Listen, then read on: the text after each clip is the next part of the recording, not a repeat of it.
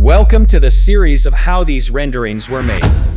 Today we are going to analyze this project made by Lisa, art director at the University of Venice. This image was made with 3D Max, Corona Render, and post-production in Photoshop. This analysis is of a rather simple image, but it has interesting elements such as water, ripples, caustics, the ideas become clearer once you find the right references. These are some of the references he used. In this case, the main goal was to play with water and caustics, so the research was based on understanding how water, reflections, and caustics work in the real world and how to recreate the right light. He placed the plants one by one by hand to recreate the exact composition he had in mind. The vegetation is from Maxtree. There is only one light source, a basic corona render sun and a corona render sky in the environment. He used a physical camera with depth of field enabled. This helps to further define the depth of the image. Let's go to the most interesting part of this video which is the water. The initial geometry is a simple spline with an edit poly to create the surface. To create the ripple effect around the guy in the water I added a lot of geometry using the Tessellate modifier to have enough definition to apply the ripple modifier. I moved the center of the modifier exactly where the man is standing so that the effects propagate from there.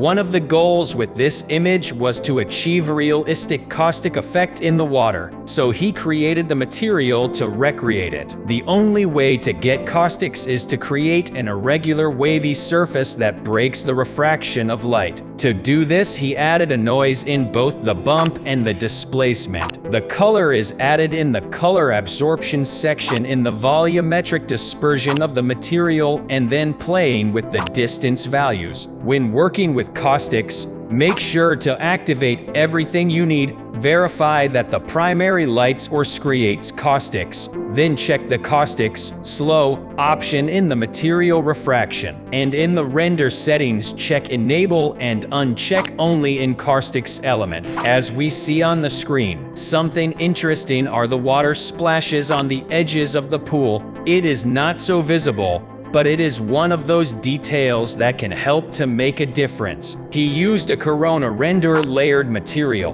The main material was the one he had for the stone tiles, that used the multi-texture plugin combined with the floor generator plugin applied to the pool surfaces. He made a copy of that material and turned up the darkness and reflection a lot. Then he used three different masks as we see in the image. To do that, each mask has been assigned a different map channel, so he could move and place the masks where he wanted. Before, he disabled the tiling option of the masks bitmap.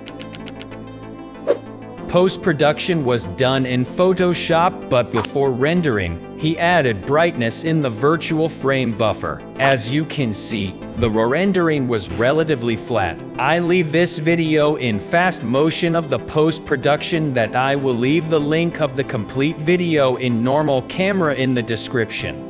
We leave you with the final images, but first if you found the video interesting please like and subscribe to analyze more projects.